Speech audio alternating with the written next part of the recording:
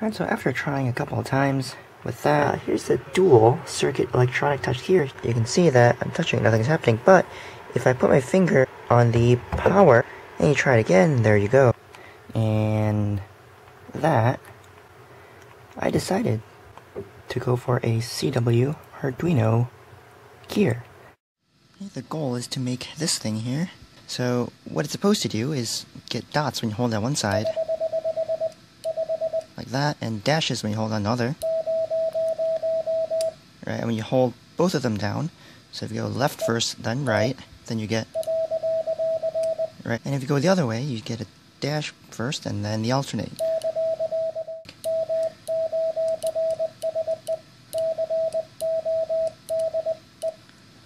Right, and now to make this thing.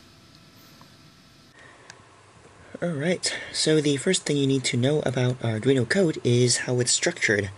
Uh, we have files like these called uh, sketches, and they're basically a piece of code that you would run. Now, specific to the Arduino, there's a setup function right here, which will be run once when the Arduino is powered up, and then after that, the Arduino will execute commands in this loop function here, over and over and over and over and over again, until you either uh, power it down or hit the reset switch or something like that. Uh, so once again, it goes through here once, and then it goes down there to the bottom, it comes back up here, and it'll keep on going.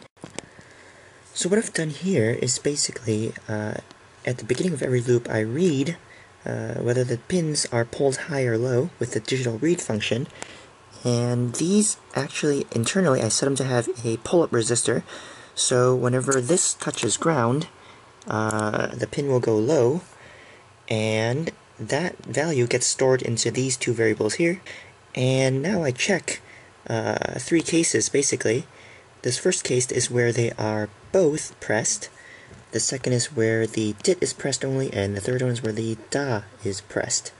And we can take a look at how this code actually functions on the hardware. Alright, so here we are, back at the breadboard. I've just plugged these two wires into empty rows right here. So let's start with the white wire. I don't know what this is, but Yep, that's the da. So you can see when I touch it, it'll start doing the uh, dashes for you. And when I touch the other one, it'll give you the dits. And when I touch both of them, well, if I can get it, there we go, it's uh, alternating. And the sound is coming from this buzzer right there. The only issue is when you try to switch between them, so you want to do like a... It's a little bit hard to get the dots uh, on time because this loop here only checks for uh, whenever you're done playing one character, one element, then it checks again whether you did something else. Um, the issue is, we have a tendency to hit the dots way before the last uh, element is sent. So I want to actually account for that. One way to do it is use the hardware interrupts right there. So uh, those are in special pins, and what interrupts do is basically whenever it receives like an event, whether it's a like a rising edge or a falling edge, on the Arduino, then we want to stop whatever the processor is doing, do something else real quick, and then come back to performing the rest of our function.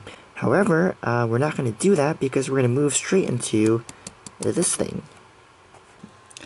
Here's the other part of the hardware. I've got uh, two resistors here attached to a couple of pins, and I've got two more leads coming out here. Uh, by the way, these are 470K.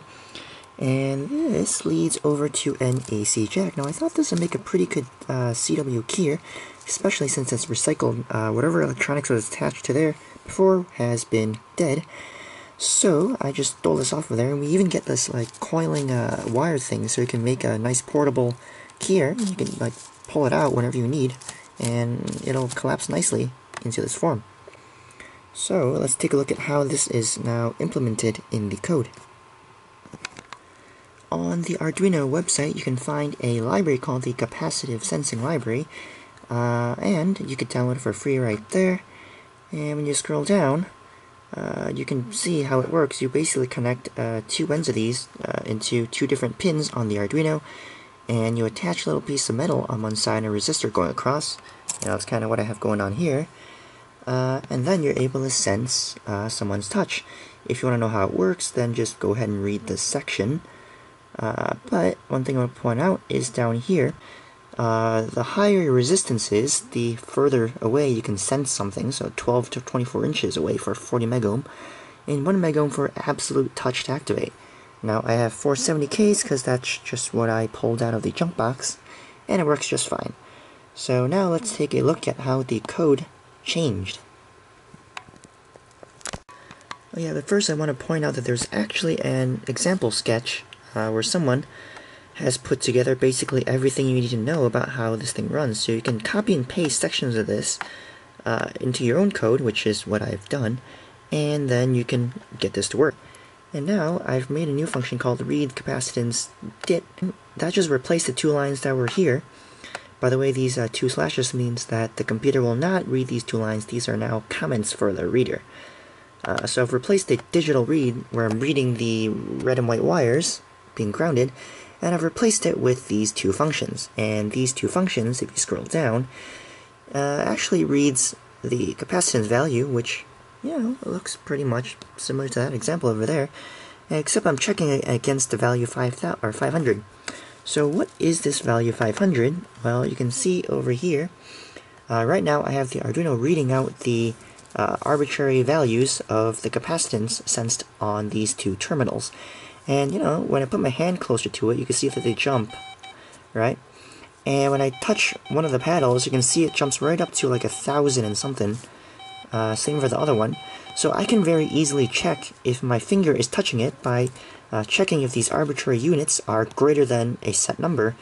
In this case, that is the 500 I've chosen here. For now, this is actually a almost functional piece of code you can use for your transmitter.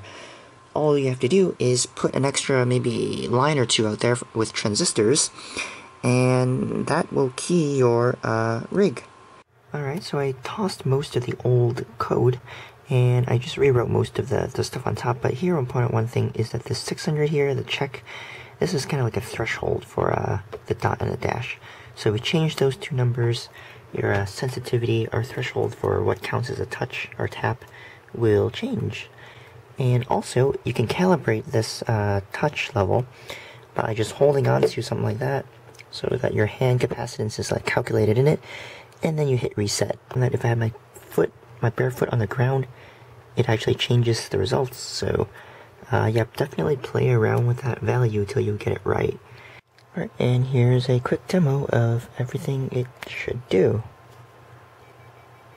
Starting with the dots, and then we go to the dashes, and then we do the alternating,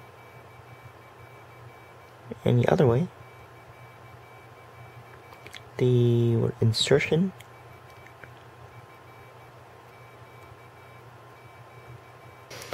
Uh, so I thought about it some more, and it turns out that you can actually hook up a transistor, the base of an NPN transistor, to pin 13, because that's actually what's connected to the LED also. Uh, connected the uh, emitter to ground, and connect the uh, collector over to your keying line, and that should be that, really.